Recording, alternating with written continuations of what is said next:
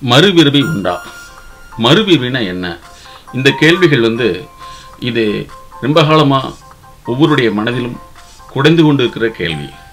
இந்த கேள்விக்கான பதில் எங்களுடைய எம்எஸ்கே தியரிப்படி ஒரு மறுபிறவி என்பது ஒரு மனிதனுடைய ஜெனடிக்கல் ஃபேக்டர் என்று நாங்கள் கண்டறிந்துள்ளோம்.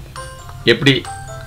ஒரு மனிதனுடைய ஜீன்ஸ் தான் இன்னொரு மனிதனுக்கு கடத்தப்படுகிறது அந்த ஜீன் தான் ஒரு மனிதனுடைய செயல் இயக்கத்தையும் செயல் சார்ந்த உடல் சார்ந்த அமைப்பையும் வடிவமைப்பதில் முக்கியமான ஒரு ஃபேக்டராக இருக்குது.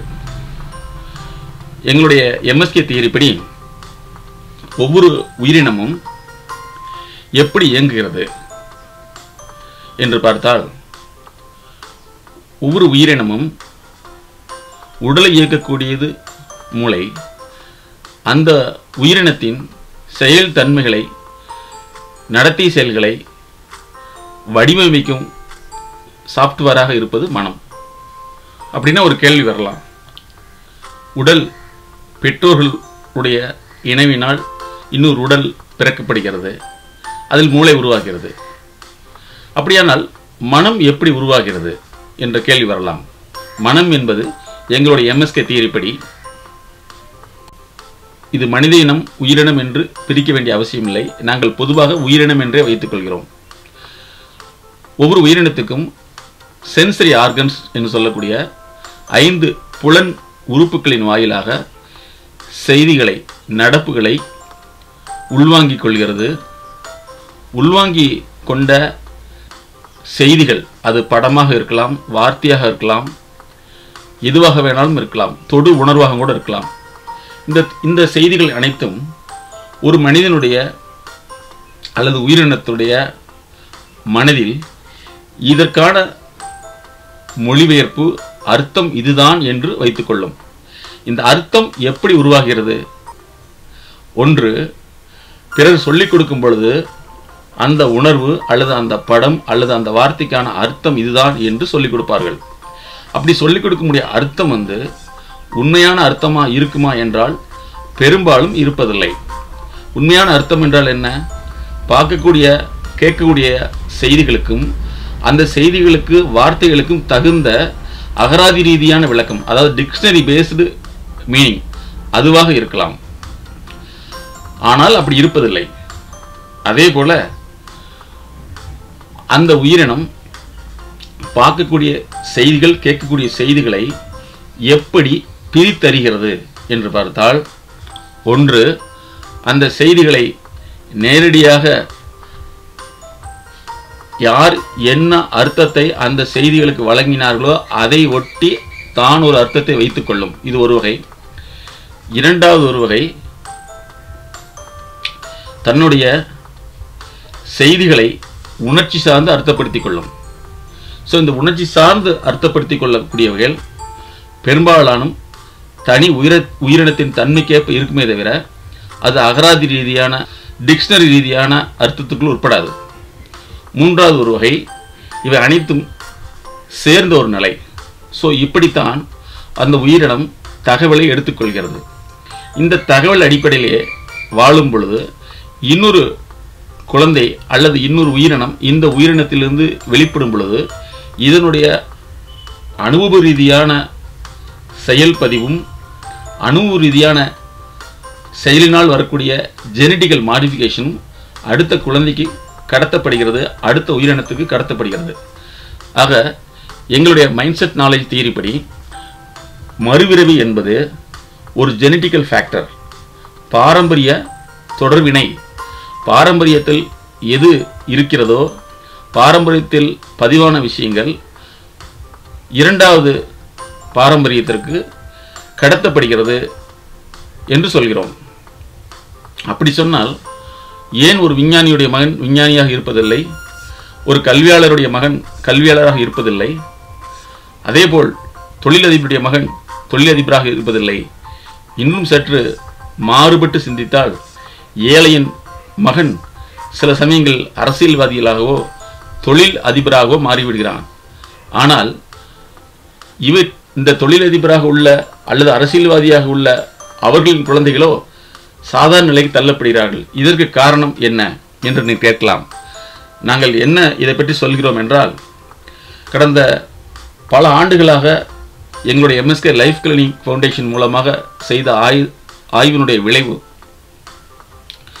ஒவ்வொரு மனிதனிடத்திலும் ஒரு குறிப்பிட்ட செயல்தன்மையும் செயல்படும் தன்மை இருக்கும். இந்த தன்மைகள் தன்னுடைய குழந்தைக்கு இயல்பாக வந்துவிடும். அந்த இயல்பான விஷயங்கள் உற்று நோக்கினால் அந்த பெற்றோரிடத்திலிருந்து அந்த தன்மை வெளிவந்தது இருக்கும்.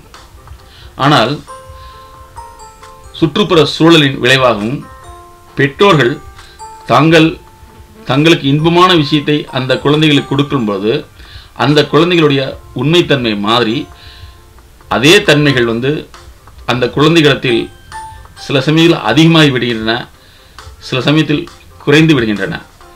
இதுபோல தான் இந்த பாரம்பரிய இயல்புகள் கடத்தப்படுகின்றன. அப்படி பார்க்கணும் பொழுது சாதாரண குடும்பத்தில் பிறந்தவர் மிகப்பெரிய அதிகாரியாக மாறுகிறார். என்னவென்றால் காரணம் என்றால் அந்த குழந்தைகள் இந்த உலகத்தில் நடக்கூடிய நிகழ்வுகளை சரியான விதத்தில் பெற்றோர்களுடைய இன்ஃப்ளூயன்ஸ் சொல்லக்கூடிய தாக்கம் இல்லாமல் வெளி உலகத்தின் தேவைக்கேற்ப தன்னை மாற்றிக்கொண்டு அதில் முன்னேறுகின்றன. அதுதான் அந்த குழந்தையை ஒரு சாதாரண வீட்டில் பெறக்கூடிய பெற்றோர் பெறக்கூடிய குழந்தையை மிக உயர்ந்த மனிதனாக மாற்றுகிறது. அதேபோல் உயர்ந்த மனிதர்களுடைய குழந்தைகள் செல்வ செழிப்பிலேயே வசதி வாய்ப்பிலேயே வாழும் பொழுது அவர்கள் அந்த வாழ்க்கை சரியான முறையில் செலுத்த முடியாமல் வாழ்க்கை என்ற மயக்கத்தில் இருப்பதினால் அவர்களுடைய அனைத்தும் இழந்து சாதாரண நிலைக்கு தள்ளப்படுகிறார்கள். இவை இரண்டிலுமே பிறவி என்பது வருகிறது ஜெனடிக்கல் ஃபேக்டர் என்று வருகிறது. ஆனால் அதை சுற்றுப்புற சூழல் வென்று விடுகிறது. ஆகவேதான் நாங்கள் என்ன சொல்கிறோம் என்றால் சுற்றுப்புற சூழலை சரியான உளவியல் ரீதியான விஞ்ஞான மு- முறைப்படி ஒரு குழந்தைக்கு வழங்கினால் நிச்சயமாக அந்த குழந்தை வெற்றியாளராக மாற முடியும். ஸோ இந்த கேள்விக்கான பதில் மறுபிறவி என்பது ஒரு பாரம்பரியத்திலிருந்து இன்னொரு பாரம்பரியத்திற்கு பாரம்பரியத்திற்கு ஜெனடிக்ஸ் என்று சொல்லக்கூடிய பாரம்பரிய ஜீன்களால் உருவாக்கப்படுகின்றது. இவை அந்த காலத்தில் ஜீன் என்ற வார்த்தைக்கு பதிலாக மறுபிறவி என்று அவர்கள் இந்த விஷயத்தை நெறிப்படுத்தியிருக்கலாம் என்பதே எங்களுடைய எம்எஸ்கேவுடைய தியரி. ஸோ இந்த பாரம்பரிய இயல்புகளை மாற்றி அமைப்பதற்காகத்தான் நாங்கள் fusion smart kids kit smart அப்படிங்கிற ஒரு சிறப்பு உளவியல் சார்ந்த பயிற்சியும் நெறிமுறையும் உருவாக்கியிருக்கோம். திருமணமான தம்பதிகள் தங்களுடைய வயிற்றில் குழந்தை வளர ஆரம்பிக்கும் பொழுது அதாவது முதல் மாதத்திலிருந்து இந்த ஃபியூஜன் என்று சொல்லக்கூடிய ஃபியூச்சர் ஜென்ரேஷன் கிட்ஸ்மார்ட் என்ற சிறப்பு உளவியல் சார்ந்த வாழ்வியல் மற்றும் அறிவு சார்ந்த செயல் மாம்ப- மேம்பாட்டு பயிற்சி எடுத்துக்கொண்டால் அவர்களிடத்தில் உள்ள பழைய பாரம்பரிய முன்பிறவி என்று சொல்லக்கூடிய ஜெனட்டிக்கல் சார்ந்த குறைபாடுகளிலிருந்தும் செயல்படுத்தன்மையிலிருந்தும் மாற்றியமைத்து அமைத்து தங்களுடைய குழந்தைகளை வளமான மாற்றத்துக்கு உருவாக்கி கொள்ள முடியும். அடுத்த கேள்வி நீங்கள் கேட்கலாம். இது ஒன்று மட்டும் போதுமா என்று. குழந்தை வயிற்றில் வளரும்போது வரக்கூடிய பல்வேறு மன அழுத்தங்களின் காரணமாகவும் வாழ்க்கை நெருக்கடியின் காரணமாகத்தான் அதிகப்படியான குழந்தைகள் வந்து உடல் நோயினால் பாதிக்கப்பட்டு நடத்தையினால் பாதிக்கப்பட்டு இன்னும் சொல்லப்போனால் ஆட்டிசம் போன்ற தவறான குணப்படுத்த முடியாத மரபியல் சார்ந்த நோய்க்கு தள்ளப்படுகின்றன என்பதை கடந்த பல ஆண்டுகளாக ஆய்வில் நாங்கள் கண்டறிந்தனுடைய விளைவுதான் இவ்வாறான புரோகிராமை வடிவமைத்துள்ளோம். சரி இந்த குழந்தைகளை வளர்க்கும் பொழுது பெற்றோர்கள் பெரும்பாலும் தங்களுக்கு எது கிடைக்கவில்லையோ அது குழந்தைகளுக்கு கிடைக்க வேண்டும் என்று குழந்தைகளுக்கு அதிக வசதி வாய்ப்பை ஏற்படுத்தி கொள்ளும் பொழுது அந்த குழந்தைகள் அந்த வசதி வாய்ப்பை அனுபவிக்குமே தவிர அந்த வசதி வாய்ப்பை பயன்படுத்தி முன்னேற தெரியாது. காரணம் மகிழ்ச்சி என்பது அனுபவிக்கூடியது ஒன்றுதானே தவிர மகிழ்ச்சியை பயன்படுத்தி முன்னேறக்கூடிய தன்மை அந்த குழந்தைகளுக்கு இருக்காது. இதுதான் நாங்கள் ஏற்கனவே சொன்ன விஷயத்தில் பார்த்தீங்கன்னா அதிகப்படியான வசதி வாய்ப்பில் உள்ளவர்களும் ரொம்ப கல்வியாளராக உள்ளக்கூடிய உள்ளவர்களும் அவருடைய குழந்தைகளை தனக்கு தகுந்த மாதிரி வளர்க்கும் போது அந்த குழந்தைகள் அனைத்திலும் வெற்றி பெறாமல் அப்படி ஒருவேளை வெற்றி பெற்றாலும் அந்த வெற்றி நிரந்தர வெற்றி இல்லாமல் போய்விடுகிறது. பல சமயங்களில் கல்வி அறிவுக்கும் சம்பந்தம் இல்லாதவர்கள் என்று சொல்லக்கூடிய குழந்தைகள் மிகப்பெரிய சமூகம் சார்ந்த வளர்ச்சியில் உச்சக்கட்டத்தை அடைந்து விடுகின்றன. ஆகவே இதற்காகத்தான் வயிற்றில் வரும் குழந்தைகளுக்கு ஃபியூஜன் என்றும் பிறகு வயிற்றிலிருந்து வந்த குழந்தைகள் மென்மேலும் எப்படி வளர்த்துவது என்பதற்கு ட்ரூ பேரண்டிங் ஃபோரம் என்பதையும் அதே போல அந்த குழந்தையுடைய கல்வித்துறை நடத்தைத்திறனை மாற்றுவதற்கு மிஸ்டர் சைல்டு என்ற ப்ரோக்ராமையும் தென் அதற்கு அப்பால் வந்து சர்வதேச கற்றல் திறனையும் பின்பு கார்ப்பரேட் ஃபிட்னஸ் ஃபோரம் என்பதையும் உருவாக்கியுள்ளோம். இந்த மறுபிறவி என்பதனுடைய தொடர்ச்சியாகத்தான் நாங்கள் ரிஃப்ளெக்ஷன் தியரி அப்படின்னு ஒன்றை கண்டுபிடிச்சிருக்கோம். அந்த தியரியுடைய நேம் என்னன்னா social responsible and reflection theory இது வந்து எங்களுடைய யூடியூப் சேனல் இருக்குது அதாவது ஒவ்வொரு மனிதனும் தான் எதை பொறுப்பாக எடுத்துக்கொண்டு செயல்படுகிறானோ அந்த பொறுப்பின் அடிப்படையிலேயே பிரதிபலிப்பிருக்கும் அதாவது மறுவிரவியில் இது பிரதிபலிக்கும்.